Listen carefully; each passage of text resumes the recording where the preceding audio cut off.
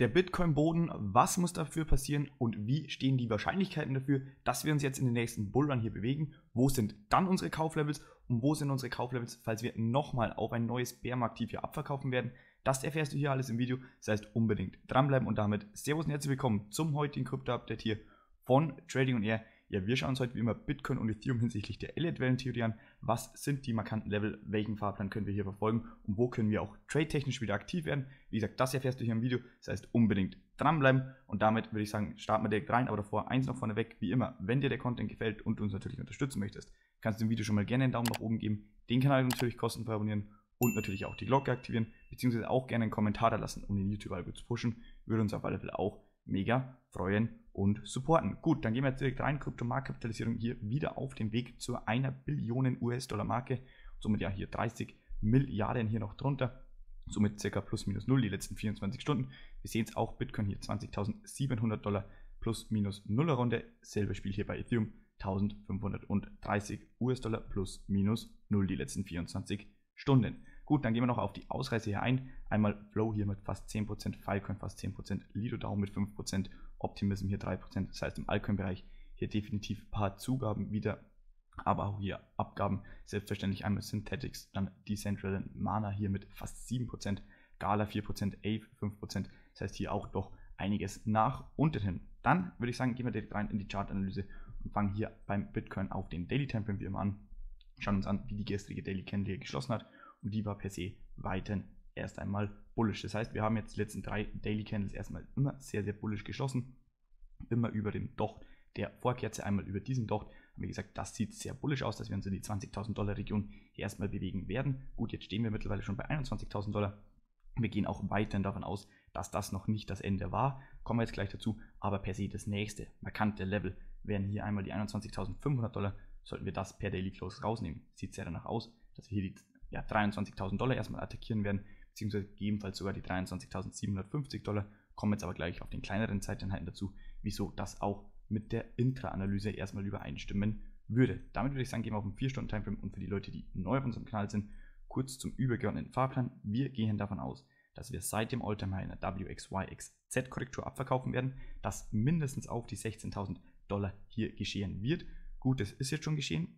Jedoch gehen wir Stand jetzt immer noch weiterhin davon aus, dass es das noch nicht war. Das heißt, wir gehen weiterhin von einem neuen Bärenmarkt-Tief hier bei Bitcoin aus und aktuell setzt sich das vorzugsweise zusammen hier bei den 15.275 Dollar runter bis zu den 11.553 Dollar. Das heißt, hier werden dann unsere nächsten langfristigen Akkumulationspositionen ähm, ja, hinterlegt. Aber die kommen selbstverständlich auch in die kostenlose Telegram-Signalgruppe rein, wenn das konkreter wird, wenn wir hier mehr Daten vom Chart haben um die Bereiche auch genauer bestimmen zu können. Aber wenn du sowas nicht verpassen willst oder auch Trades, kannst du gerne mal die kostenlose Telegram-Signalgruppe ähm, auschecken. Link dazu in der Videobeschreibung. So sehen da beispielsweise Signale aus.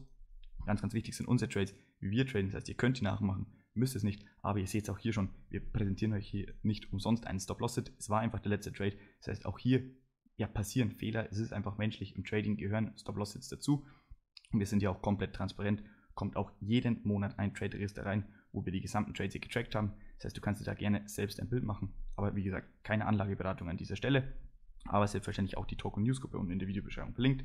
Da kommen unsere Trade-Ideen rein oder auch mal kurze Zwischenupdates, falls sich hier irgendwas Spannendes getan hat oder falls du einfach nur den Austausch mit der Community suchst, kannst du hier auch gerne beitreten. Gut, dann würde ich sagen, machen wir direkt weiter hier mit der Analyse. Das heißt, wir gehen aktuell davon aus, A, B, C nach unten, dass wir hier ein W geformt haben, in einer X jetzt hochkommen, um dann in einer Y weiter abzuverkaufen. Das hat sich, und das muss man auch so sagen, hat sich zum letzten Video hier geändert. Wieso? Weil das einfach aktuell der Weg des geringsten Widerstands hier ist für uns und ja, wir oder der Count aus dieser Sicht hier einfach am wahrscheinlichsten ist für uns, dass wir hier nochmal abverkaufen werden. Denn mit einer überschießenden B das Recht zu machen, ist einfach, das heißt nur sehr, sehr unwahrscheinlich. Das hat einfach eine geringere Wahrscheinlichkeit wie dieser Count. Das heißt aktuell die Wahl dieses Counts. Und wann wir jetzt auf den bullischen Fahrplan switchen, da kommen wir jetzt auf den kleineren Zeiteinheiten dazu. Denn wir haben das folgendermaßen geteilt oder unterteilt und wir haben es euch auch in diesem Bereich hier gesagt, das kann das Bärenmarkt-Tief hier gewesen sein. Aber es ist nicht unser primäres Szenario. Wir haben ja auch nicht umsonst bei 16.200 Dollar die ersten Positionen hier hinterlegt.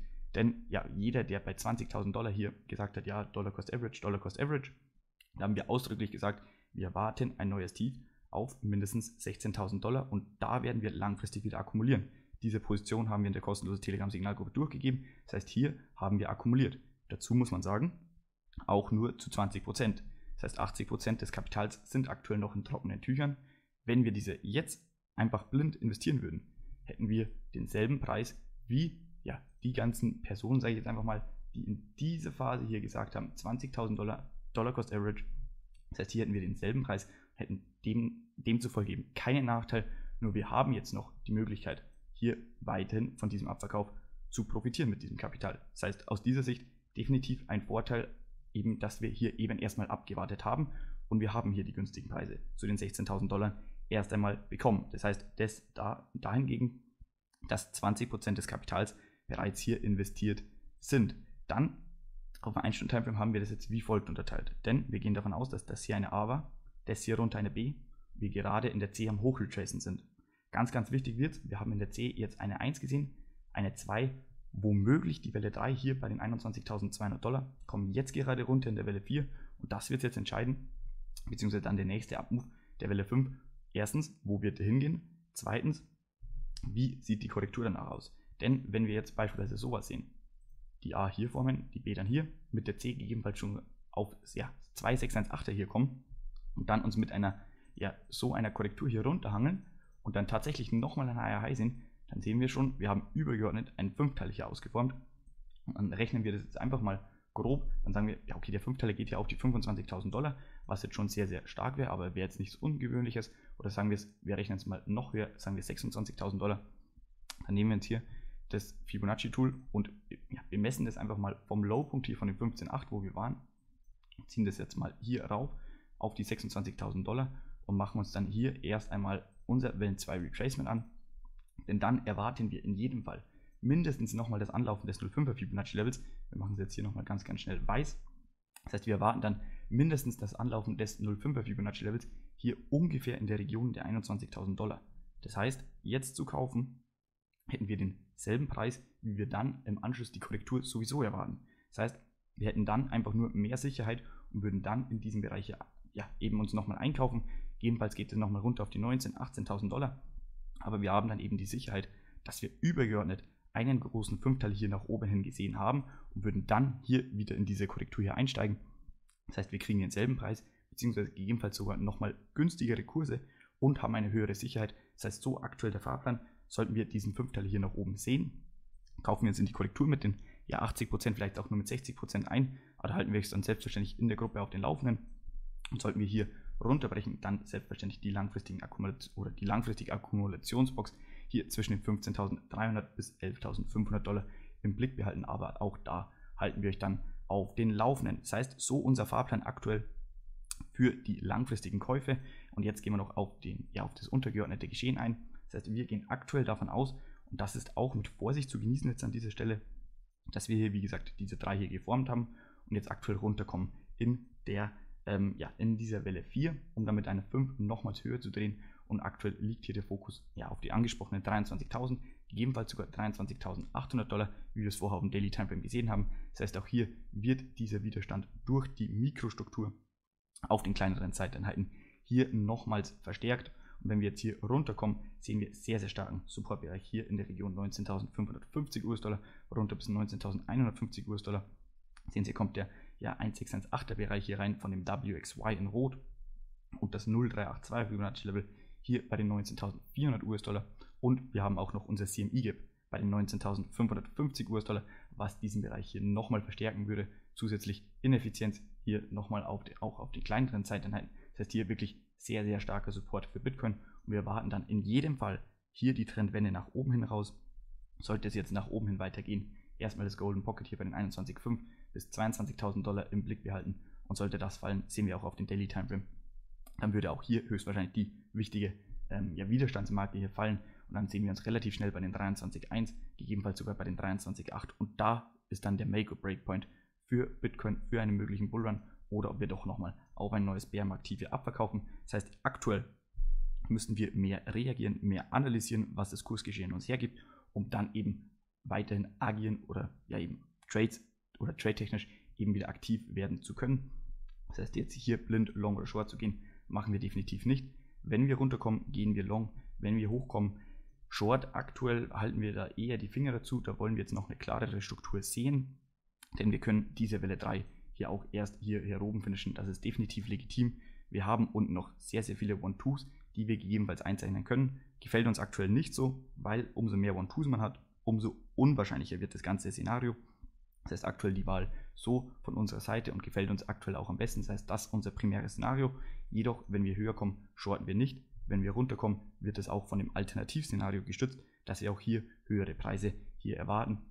Das heißt definitiv hier starker Support. Primäres Szenario deutet dorthin. Sekundäres Szenario wäre nichts Unübliches, wenn, wenn wir wäre nichts Unübliches, wenn wir eben in diese Region hier kommen. Das heißt, auch im sekundären Szenario wäre hier von Support zu sprechen, was eben das aus trade-technischer Sicht einfach sehr lukrativ macht, hier dann auch eben aktiv zu werden. Das heißt, zusammengefasst nach unten die wichtigste Marke 19.550 US-Dollar und das Go-To-Level einmal die ja, 18.800 Dollar.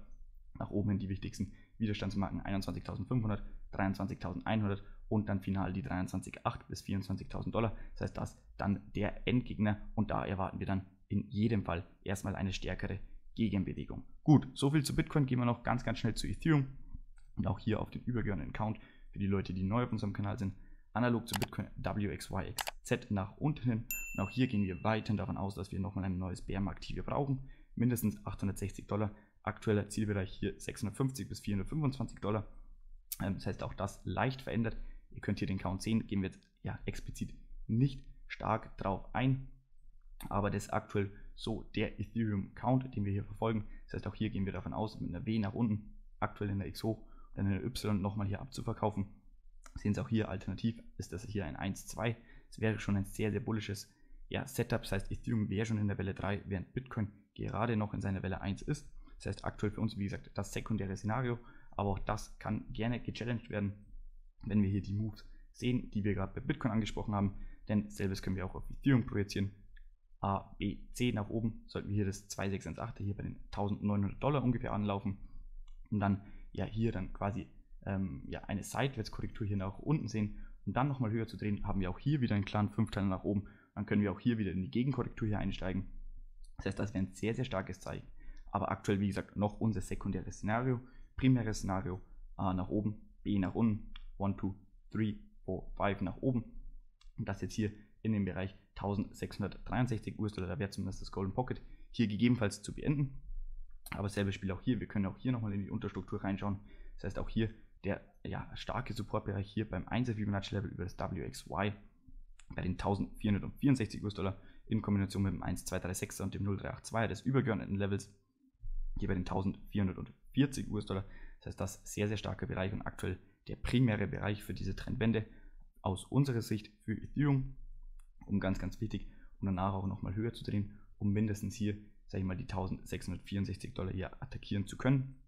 Sollten wir das Ganze rausnehmen, wäre der nächste starke Widerstand hier bei den 1825 US-Dollar und dann hier, hier oben schon bei den 1880 US-Dollar. Aber auch hier müssen wir uns die innere Struktur nochmal genauer anschauen, um das dann genauer bestimmen zu können. Selbes Spiel auch hier von Shorts halten wir oben erstmal ja, die Finger fern. Long kann man hier definitiv gehen, denn auch hier das sekundäre Szenario, welches noch bullischer wäre, das ähm, würde hier auf denselben Supportbereich hier erstmal kommen. Das heißt, hier definitiv in beiden Szenarien von Support zu sprechen. Nach oben hin wird es dann wichtig, wie die innere Struktur hier aussieht. Aber da halten wir euch ja selbstverständlich mit den ja, Daily Upload hier auf den Laufenden. Das heißt, stell nochmal sicher, dass das kostenlose Abo da ist und dass die Glocke auch aktiviert ist, damit du auch sicherlich nichts mehr verpasst in dieser spannenden ja, Phase, muss man schon sagen. Denn die nächsten Tage und Wochen werden hier höchstwahrscheinlich die Entscheidung bringen. Bullrun 2023, ja oder nein. Und deswegen würde ich sagen, beant oder beenden wir jetzt das Video mit den wichtigsten Supportbereichen. Hier nochmal bei Ethereum 1460 bis 1440. Wenn das nicht halten sollte, sollte einmal 1400 bis 1390 auf dem Schirm halten. Ansonsten wichtigste Widerstandsmarke hier nach oben hin 1666 US-Dollar. Ähm, ja genau, 1666 US-Dollar, 1825 und dann die 1880 in Kombination mit 1920 hier oben als finalen Widerstand. Da erwarten wir in jedem Fall dann sehr, sehr starken Widerstand und erst einmal eine Gegenkorrektur bei Ethereum. Gut, damit soll es das Ganze schon gewesen sein. Video sehr, sehr lange, aber wir sind auch auf die Bodenbereiche nochmal eingegangen und wann wir hier kauftechnisch bzw. spottechnisch dann wieder aktiv werden. Was muss dafür geschehen für einen Bullrun? Das heißt hier sehr, sehr viel Mehrwert in diesem Video. Daher ist es jetzt ein bisschen länger geworden. Aber wir bedanken uns an dieser Stelle trotzdem schon mal für jegliche Form von Support. Und damit hören wir uns später gegebenenfalls auf Telegram wieder. Ansonsten morgen in der Früh zum Update. Und damit Trading und erst raus. Macht's gut. Ciao, ciao.